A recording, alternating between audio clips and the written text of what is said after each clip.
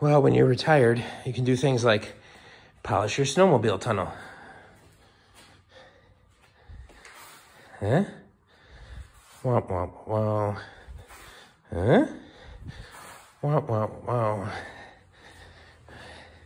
Gonna paint it Bahamas blue too.